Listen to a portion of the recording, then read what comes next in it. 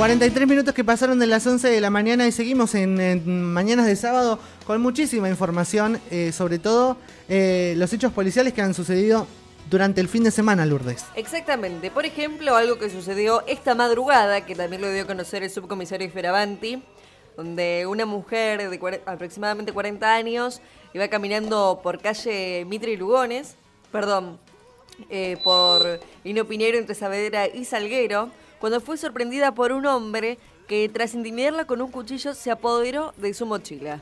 Y estamos en comunicación con Paola, que es la damnificada. Exactamente. Paola, ¿cómo estás? Buen día. Hola, buen día. Bueno, eh, lamentamos el hecho que ocurrió, eh, que te pasó a vos, ¿no es cierto? Y, te llamábamos sobre todo para que nos cuentes eh, dónde fue y cómo fue la situación. sí, yo estaba en lo de una amiga cenando y más o menos una y veinte y cuarto eh, me lleva hasta mi casa. Entonces me, me lleva en moto, agarramos por Lino Piñeiro y yo vivo en Lino Piñeiro del 650. Sí. Eh, me deja en la esquina ella. Sí. O sea, de Saavedra y Lino Piñeiro, me queda a mitad de cuadra mi casa. Ajá. Eh, iba caminando, y o sea, cuando bajo de la moto veo que en la otra esquina, donde está la agencia quinera, eh, por Anchorena, Belgrano, venía uno caminando. ¿Era un hombre?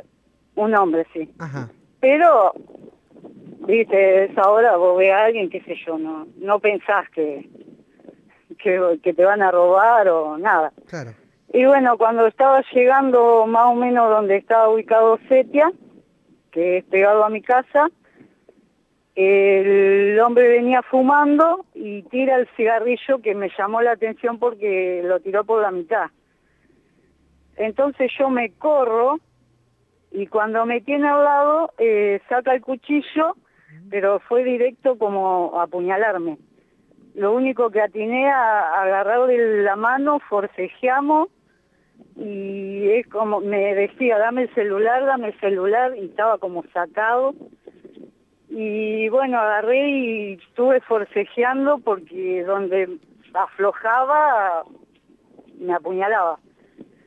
Y en un momento, forcejeando así, eh, lleva el cuchillo a la garganta y también ahí haciendo fuerza para que no, que no me clave el cuchillo. Bueno, en un momento zafa eh, me apoya el cuchillo en la mano eh, con fuerza y ahí agarré, bueno, me quedé quieta porque yo digo, donde yo saque la mano, me mueva, me corta el brazo, la mano, todo.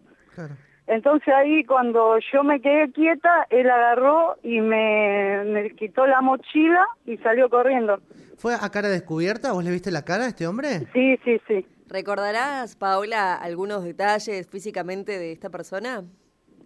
Y es de un, o sea, un metro sesenta y cinco, un metro setenta más o menos, eh, el cutis blanco, cabello castaño claro.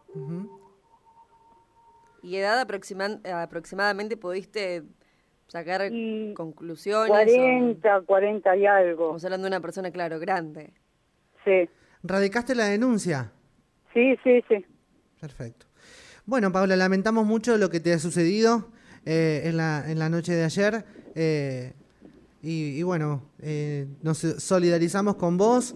Espero que no, no vuelva a pasar porque nuestra ciudad es una ciudad tranquila y, y que pasen estas cosas no, no, no es lindo, no es grato para, para el ciudadano de Varadero. ¿eh? Sí, no, yo estaba acostumbrada así a... A otro Varadero. O sea, venía acá y era como que yo viajaba a San Pedro y allá es re intranquila, pero llegaba acá y era como que... Bueno, Paola. tranquilidad tremenda. muchas gracias, muchas gracias por atendernos. Te avisamos también que en la radio está tu documento, eh, el DNI, así que cuando quieras pasar a, retirarlo está aquí en la radio. ¿eh? Bueno, dale, dale. Un beso grande y gracias por atendernos. Muchas gracias, un beso. Hasta luego. Hasta luego. Paola, que es, eh, bueno, la damnificada en el robo de ayer. Eh,